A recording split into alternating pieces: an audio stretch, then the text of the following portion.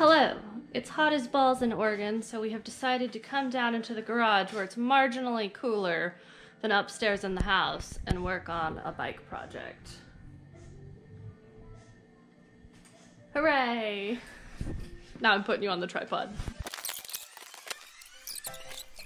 So we're going to start off by measuring the bikes and then obviously reading the instructions. I'll put a link to this kit uh, in the description. So we're figuring out how far it is from the back of the seat to the handlebars and then accounting for um, the wheel so it doesn't hit the wall. And these brackets are have holes in them for whether the, you're going down the same floor joist like I'm doing here or going 90 degrees to the floor joist which I'll be doing on the second bike you see. Uh, pretty straightforward and then um, threading it here. I'm obviously am not doing it correctly so Bailey takes over and gets it to go correctly. And we're going to use a hammer drill.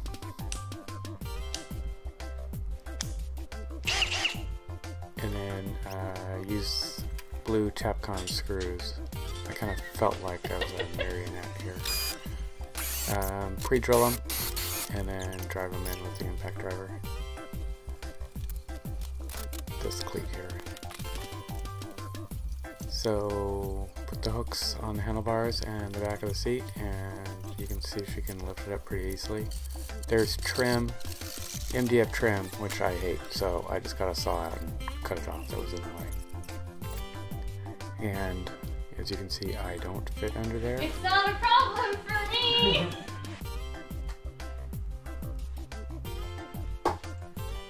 and Bailey fits just fine.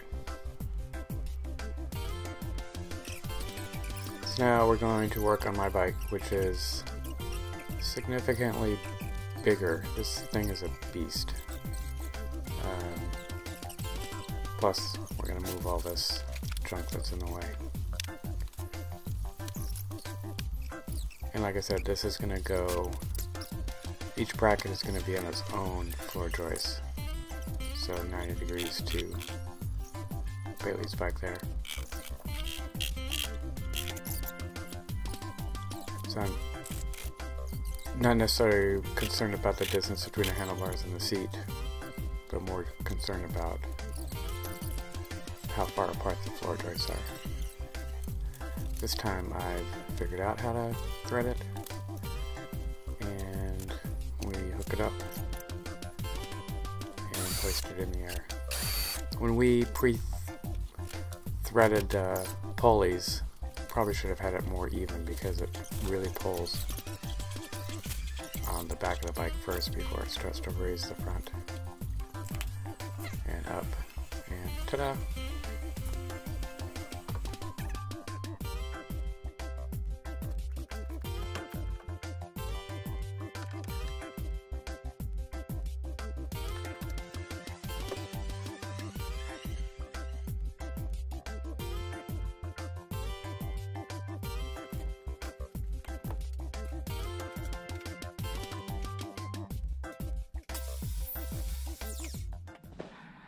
So this is what I ended up with. I cut this at 20 degrees, which I measured from the pedal.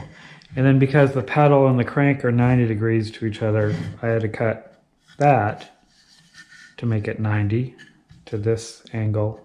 This angle is 90 to that angle. And then I got some oak, not very thick, glued and screwed that on there for the pedal clip and then countersunk some holes on a piece of plywood, which I glued and screwed through the back, those holes. And then I beveled the plywood as well, just to kind of give it a good look. Plus I like the exposed plywood and the blue stain on there. Um, I did a couple projects like this. Um, I'll link those here. Uh, some coffee tables and an etagere Another client saw the coffee table video and really liked the blue and exposed plywood.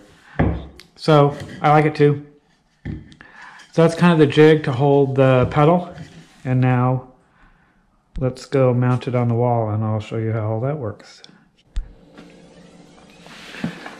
So I want this up off the wall a little bit so I can put this cart I have under there. So I kind of marked where I want it.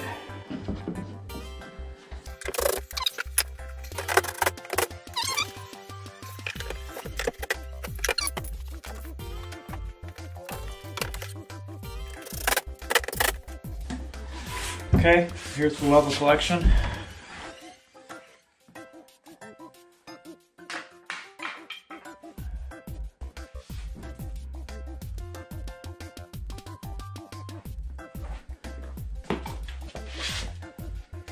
Tires will sit on this.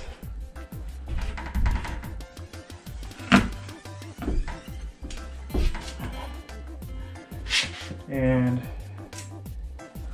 Got to mark where that's going to go. You want to measure how high up your pedal goes.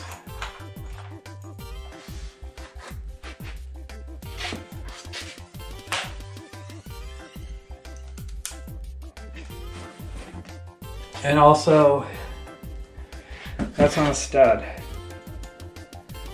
Kind of important to make sure you hit studs.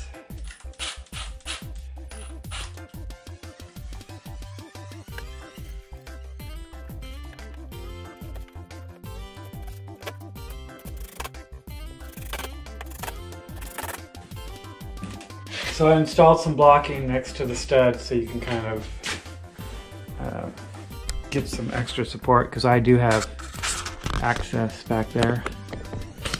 And so I've got my two little ledgers and place for my pedal.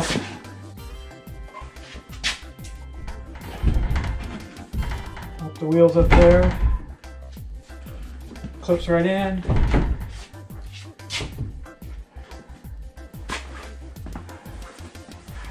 And that's how you deal with a bike without a kickstand. Plus, it looks kind of cool.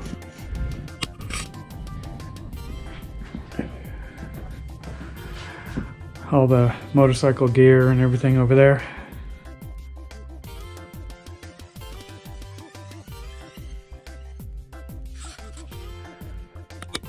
So here it is with the cart. Kind of what I designed the bike to fit over. And then let me show you the blocking I did. So it's in the stud here. Here's the blocking. I don't know how well you can see that. And then I'm gonna drive one more long screw in through the back just to keep that thing on the wall because I like it. So here's the other bike storage. We've got Bailey's Gypsy painted Alexa and my cargo bike with champagne crate on the back. And then this bike, uh, we're gonna restore at some point. It's a 1957 Schwinn Corvette. And I think it's all original except the pedals. And obviously the basket they added to the front. And haven't done any research yet. The seat might be new, might be mid 60s Schwinn. But anyway, that's a project. But right now, it's Rustacular and uh, on display. So this is how we did bike storage uh, using the pulley system for the big bikes and a wall cleat for the tiny bike without a kickstand. And it looks really good displayed like that.